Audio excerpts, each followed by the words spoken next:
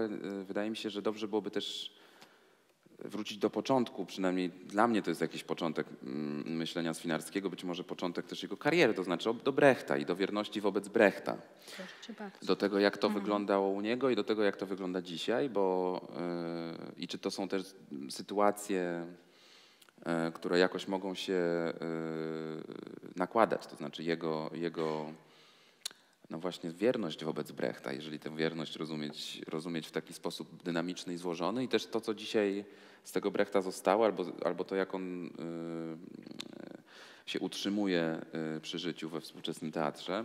Ponieważ jak, y, ja mam takie wrażenie z, z, z tych lektur, które tutaj można w tej książce i z tą książką odbyć, że że dla, że dla Swinarskiego Brecht był w ogóle punktem wyjścia gdzieś. To, to, to, to, to jest ważne i to w takim historycznym, e, dosłownym sensie, ale i w sensie pewnego takiego podstawowego zadania, jakie, jakie, jakie się nakłada na teatr. I ten, tym zadaniem jest e, z pewnością, jak on mówi, najgłębsze przekonanie, jakie wyniósł od Brechta, to, to przekonanie, że technika reżyserowania podlega sprawom myślenia. Że to jest, że to jest pewien rodzaj E, myślenia. Być może nawet tak byśmy mogli powiedzieć, że, że reżyseria jest myśleniem.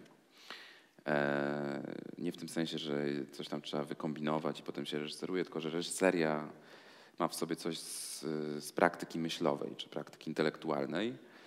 I że w związku z tym ten, e, ta, ta powinność jest gdzieś też koniecznością innej rzeczy, która, którą on też wprost y, werbalizuje, a mianowicie tego, że się trzeba konfrontować z, z rzeczywistością, to znaczy z pewnego rodzaju zastaną aktualną sytuacją w całej jej właśnie y, skomplikowanej y, formie, ze wszystkimi językami, ale też językami w szerokim sensie, to znaczy językiem gestów, zachowań, praktyk społecznych, które są jakimś rodzajem normy, jakimś rodzajem oczywistości i, i, i w to się z całym swoim teatralnym e, właśnie myśleniem wchodzi i z tym należy się konfrontować. E, ale też jest w tym, w tym myśleniu na temat Brechta u Swinarskiego, wydaje mi się, moment krytyczny, w którym on się jednak e, stara od Brechta dystansować i też pokazuje, i być może to jest też jakoś zgodne z tym, co żeśmy próbowali mówić o tej wierności, to znaczy, że Brecht sam trochę się nie potrafił zdobyć na wierność wobec swojego odkrycia w taki sposób konsekwentny, bo zaczął sam swoją myśl teatralną czynić takim rodzajem dogmatu, jakiegoś, jakimś rodzajem gotowej formuły na teatr i wobec tego Swinarski y, raczej protestował. Dostrzegał zresztą ciekawy, ciekawy paradoks, może ja to przeczytam, bo, bo, bo mamy te cytaty w sumie tutaj podrzucać, więc, więc chętnie, chętnie, chętnie dam, oddam głos samemu Swinarskiemu. On mówił w tekście Brecht, w rozmowie Brecht z bliska z Krystyną Nastulanką, mówił tak. Brecht powtarzał często, smak budyniu należy oceniać w czasie jedzenia. Jego małe organon, mowa o małym organon dla teatru, czyli takiej te teoretycznej podstawie e, czy jakiejś syntezie jego myślenia, było właściwie wymysłem praktyka, który z konieczności siedzi z zawiązanymi rękami. Praktyka autora matki kury, kuraż, kuraż, kuraż, nie? Kuraż, kuraż. no to nie wiedziałem. Courage. Matka kurażu. przerastała, te, przerastała jego teorię. To też, praca ta ma dzisiaj niewątpliwie znaczenie historyczne. Praca, to znaczy tekst mały organom dla teatru, poka pokazując zagadnienia sceniczne w dobie Republiki Weimarskiej, ale nie może być traktowana jako podstawa działalności teatralnej na dziś. I potem dodaje jeszcze, już w innym tekście, Brecht dzisiaj, zdaje się późniejszym odrobinę, wciąż y, doznają uczucia, że kiedy Brecht przestał pisać wiersze i stał się wyznawcą doktryny, skończył się jako twórca. I wtedy zaczął uprawiać teatr. Czyli ta rewizja y, y, relacji z Brechtem idzie aż do momentu, w którym on mówi, że właściwie, właściwie to Brecht jest wielki jako poeta. Ale to oznacza, że zanim zaczął robić teatr, albo gdy nie robi teatru. Jak zaczyna robić teatr, to już robi, yy, robi troszeczkę dogmatyczny. Yy, co oczywiście yy, trzeba, myślę, traktować z lekkim cudzysłowem, ale no, sam to mówi. I w końcu też bardzo podkreślał Swinarski to, że ta że ta doktryna Brechta stała się sama pewnego rodzaju instytucjonalnym czy zinstytucjonalizowanym banałem. I tu miałbym na myśli chyba, jak sądzę, taką polityczną właśnie, czy też może nawet ideologiczną podstawę tego, to znaczy pewien rodzaj myślenia materialistycznego, marksistowskiego, które Swinarski mówił, no dobrze, no ale po co my właściwie mamy dzisiaj się trzymać tego e, e, litery tej, tej, tej doktryny politycznej, skoro każde dziecko uczy się jej w szkole. E, innymi słowy, jakby ta, ta krytyczność Brechta była stawiana w wątpliwość, ponieważ po, ponieważ w pewnym sensie wszyscy tym Brechtem już przesiąknęli i to się zrobił taki rodzaj elementarza szkolnego. Ale to chyba było bardziej skomplikowane. Mi się wydaje, że to ten moment, w którym rzeczywiście Brecht, a raczej Helena Weigel jako dyrektor Berlin Ensemble zaczęli robić teksty Brechta i te teksty były obfotografowywane scena po scenie, zmiana po zdaniu, po, e, po, po, po zmianie dekoracji i były wydawane te modelbichia, które co prawda Brecht twierdził, że mają po to, są tak dokładnie przedstawione, żeby jego przyszli e, uczniowie mogli robić inaczej, żeby dokładnie wiedzieli, co mogą zmieniać i dlaczego.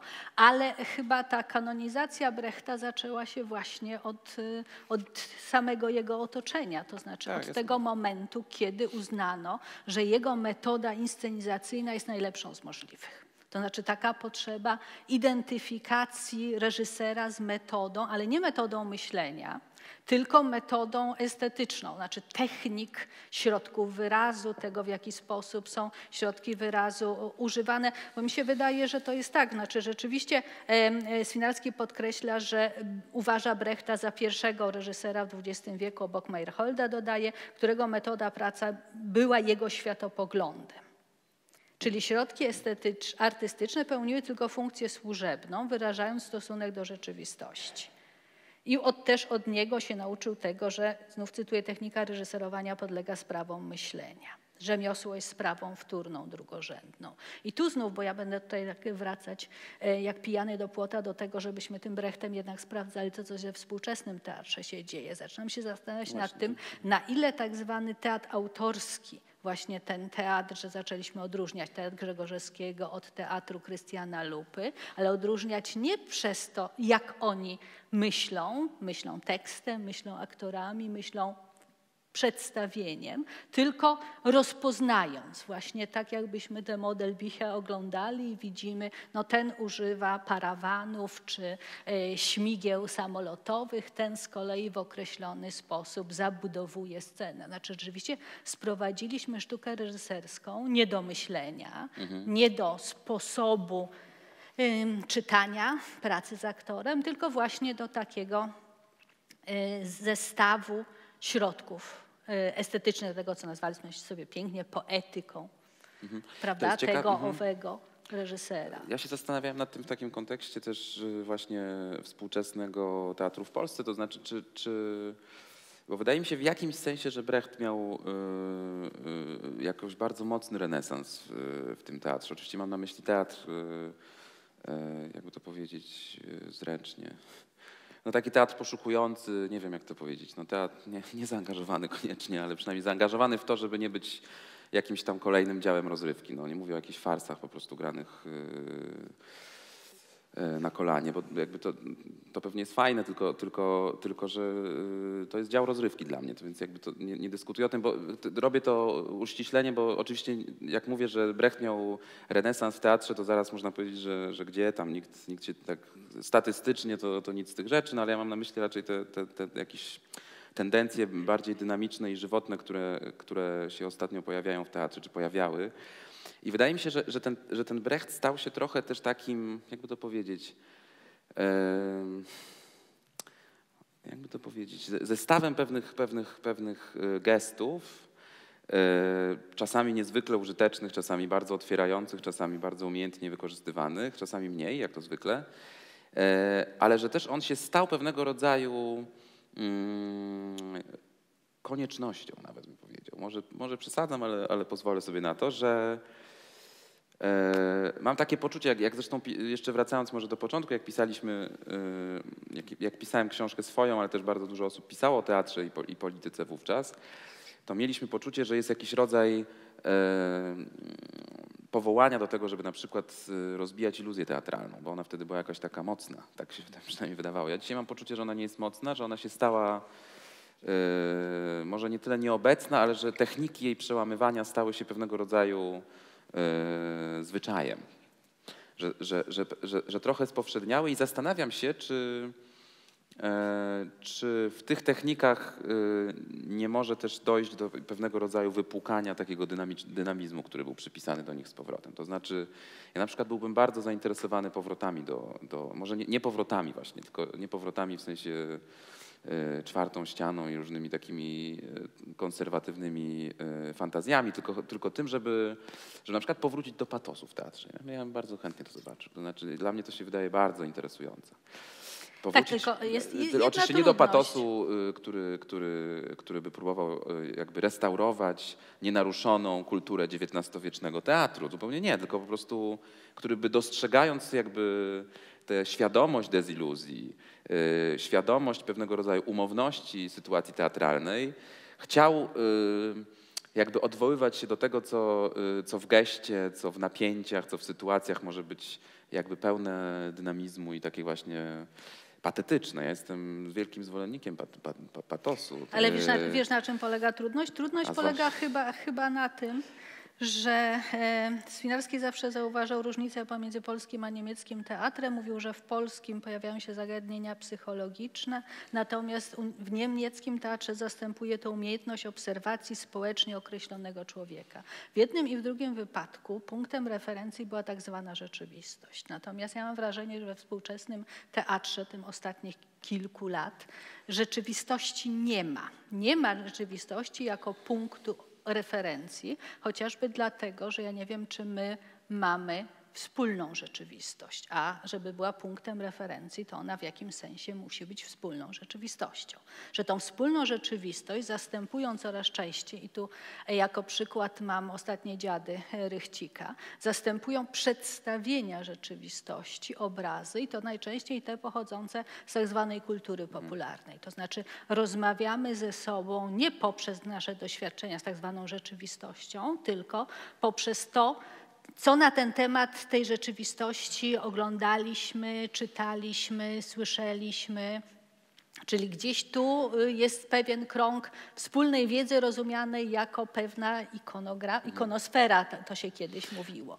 Tak, tylko mi się wydaje, że, że, że ten problem y, już bardziej chyba języka mówienia o teatrze y, niż samego teatru, bo chociaż oczywiście to się, to się wszystko ze sobą splata i na siebie nawzajem oddziaływuje, ale to, to jest to, bo teraz pomyślałem sobie, że oczywiście trochę, w, znaczy nie przesadziłem z apologią patosu, bo to, to się czuję wierny wobec własnej zmienności, ale, ale, ale że, że oczywiście nie chodzi o żaden psychologizm, broń, brońcie Panie Boże w Trójcy Jedyny, no, że, że że to jest też coś, co jest całkowicie Nie, tylko żeby było patetycznie, tak? to się to znaczy, musisz że, przejąć. Że Natomiast patos musi być robiony z, z, obrazy tylko, to się nie ma czym przejąć. Właśnie nie wiem. Uważam, że, że, że, że ten Brecht mógłby się wciąż przydać na to, żeby, żeby analizować y, gesty bez psychologii. To znaczy, żeby się nie zastanawiać nad głębiami ludzkich przeżyć, tylko żeby się skupić właśnie na tym, jak te przeżycia się odkładają w gestach, jak one te y, gesty napinają, dynamizują, y, konfrontują ze sobą, przeciwstawiają sobie i tak dalej, i tak dalej.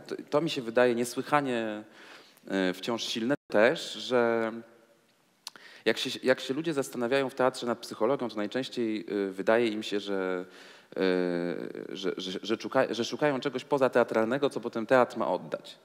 Co jest moim zdaniem kompletnie fałszywym myśleniem, to znaczy takim tradycyjnym y, pojmowaniem ekspresji jako czegoś, co się ma wydobyć z zewnątrz i, i, pokazać na, z wewnątrz i pokazać na zewnątrz. Natomiast ekspresja to jest montowanie rzeczy y, teatralnych. Jeżeli ten, ten Brecht by się dzisiaj do czegoś jeszcze mógł przydać, to wydaje mi się, że właśnie paradoksalnie być może, nie do tego, żeby, żeby upowszechnić efekt obcości, tylko żeby za pomocą tej analizy materialistycznej i odpsychologizowanej gestów, Y, móc z powrotem powrócić do patosu. Właśnie już bez psychologizacji, bez y, marzeń o głębi i wewnętrzności, a bardzo blisko właśnie takiej tkanki społecznej. Mi się wydaje, że ta wspólna, rzecz, wspólna rzeczywistość nie istniała nigdy. To jest pewien postulat, może marzenie, może kategoria filozoficzna, może utopia. Yy, Ona dzisiaj się oczywiście tak samo, znaczy nie, nie chcę mówić, że tak samo, wszystko jedno, no. nie będziemy teraz rozstrzygać tego, czy świat się tak zmienił, czy nie. Miało być konkretnie, no. Yy, Ale, ale że, yy, że, że, że można te rzeczywistości do siebie odnosić właśnie na zasadzie tych gestów, tak? To znaczy, że, że również można pokazać tą nieprzystawalność różnych naszych, powiedzmy, niż, lokalnych e, wspólnot, lokalnych też jakby takich systemów rozumienia, e, odniesień, nawiązań, no takiego po prostu świata, który sobie wokół, wokół siebie budujemy z różnych elementów i które, który może być zamknięty na różne inne światy, że to się też tak naprawdę komunikuje za pomocą czasem zupełnie zdumiewających i niesłychanych właśnie połączeń, ja wiem, materialnych. No i myślę, że, to jest, że teatr jest świetnym miejscem na pokazywanie tego.